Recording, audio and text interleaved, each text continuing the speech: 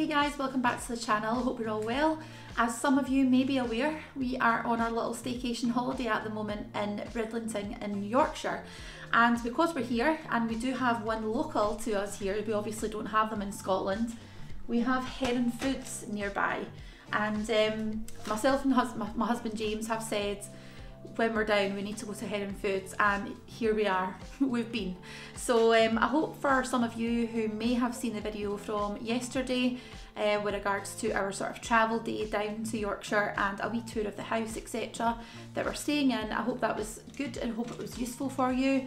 Um, if you do want any ideas or any information about the local area or about this cottage, um, as it is up for for let on cottages.co.uk, um, then just let me know. It's not a problem at all. Um, and there is a little link in the bio as well with regards to the accommodation that we're in if you're interested. Um, certainly today we're going to be going over what we managed to get from Heron Foods. Um, James's gran, when she was still with us and lived here, um, she used to go to Heron's Foods a lot and she was a firm believer in getting a really good bargain and getting the most for our money, which I think all of us need to be doing just now. It certainly is something that myself and James do try to abide by.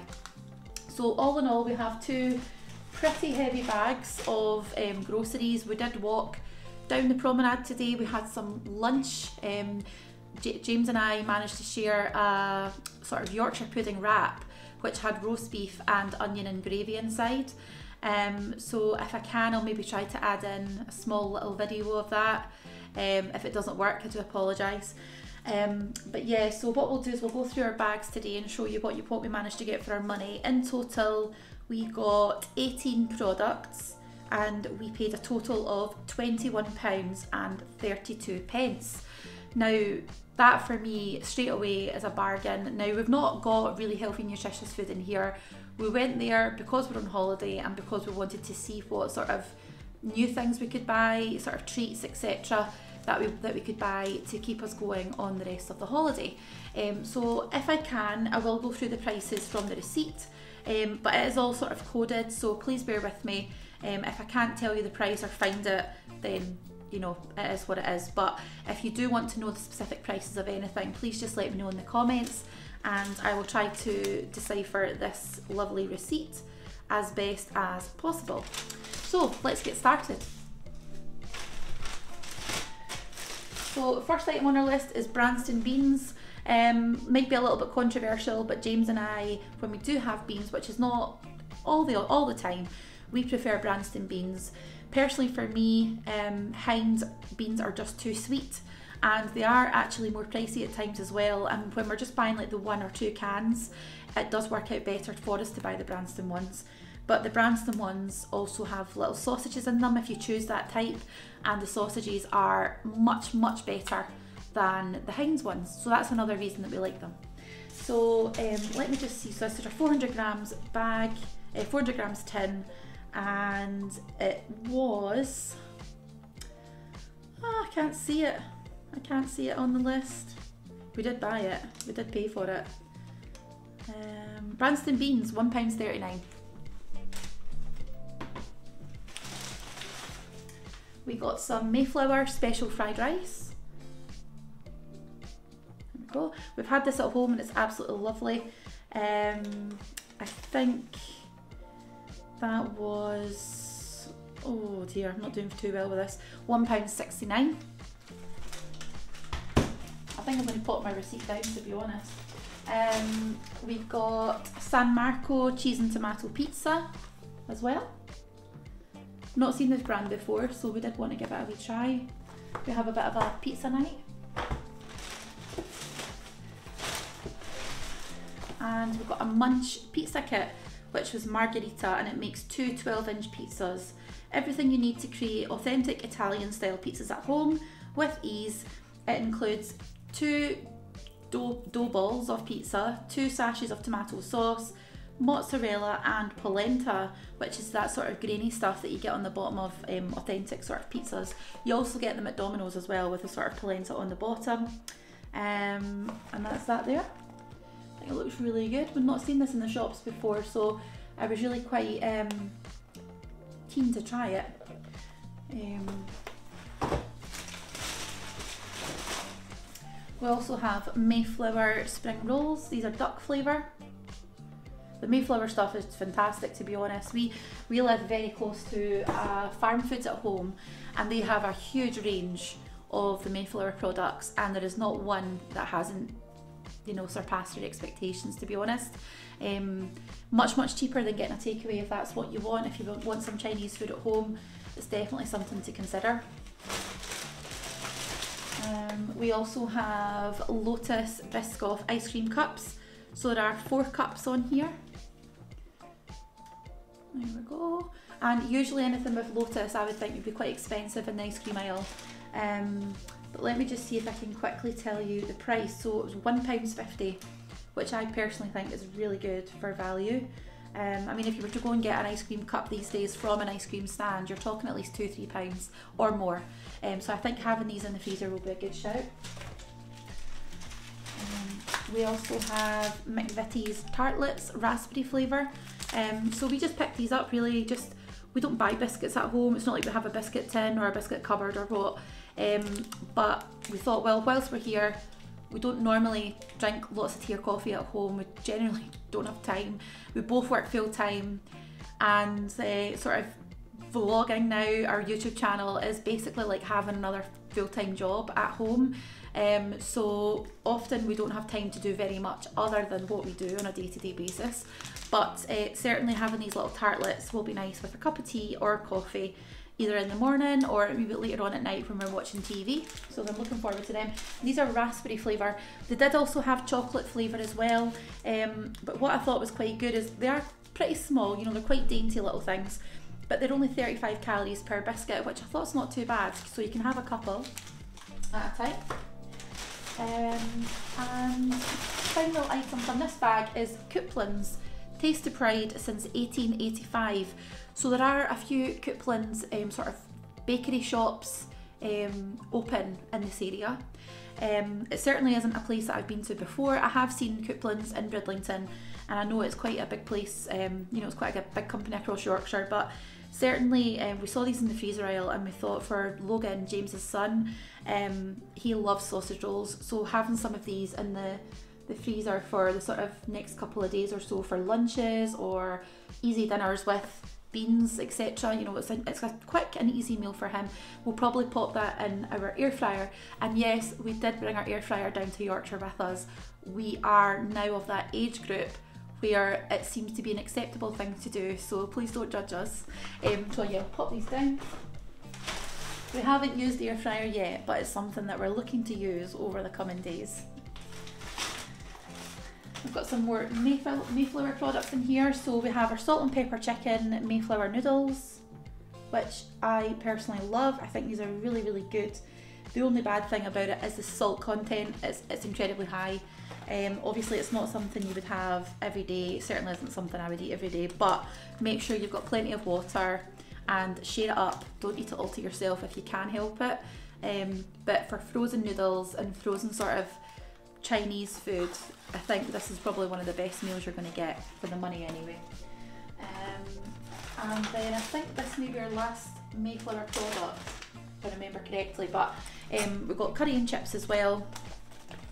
So again, just a little bit of something different. We've, we've had these maybe once or twice at home, um, but we've not had it in such a big box. I think they do a slightly smaller tray as well, the sort of silver metal foil trays. Um, and they are crinkle cut chips. There's quite a, quite a good amount of sauce in there as well when you do cook it down. And then we've just got some more sort of snacky things as well, so I hope you don't mind me showing you. But we did manage to get seven days mini croissants with cocoa filling. So again, little snacks if we're going anywhere in the car. We are aiming to explore Yorkshire a bit wider as the week goes on. We're hoping to maybe go to the, Tram, the Train Museum. We're hoping to maybe go into York. Um, yeah, so there's lots and lots of things for us to be able to do, but certainly having a wee snack like this in the car just kind of keeps you going a little bit, doesn't it? And it's not too messy as well, um, which is great when you've got a four-year-old. um, we also have two cinnamon buns. So sweet dough buns rolled in cinnamon and sugar drizzled with icing. So these just have to be defrosted. Um, might not be the easiest thing to show you up close, but I hope you guys can see that okay. So basically what you do is you just keep them in the freezer, they were in the freezer aisle, and um, what you do is you just take them out and leave them to defrost. So if you are wanting to have them with coffee or as a wee snack or whatever, we'll probably share one of them like today or tomorrow and then we'll share another one as the week goes on. But um, there were a lot of different kinds of cakes there. They had sort of like vanilla crowns with the sort of um, custard inside. They also had raspberry ones as well. But there were 24 of them in the bag and it just seemed like a waste.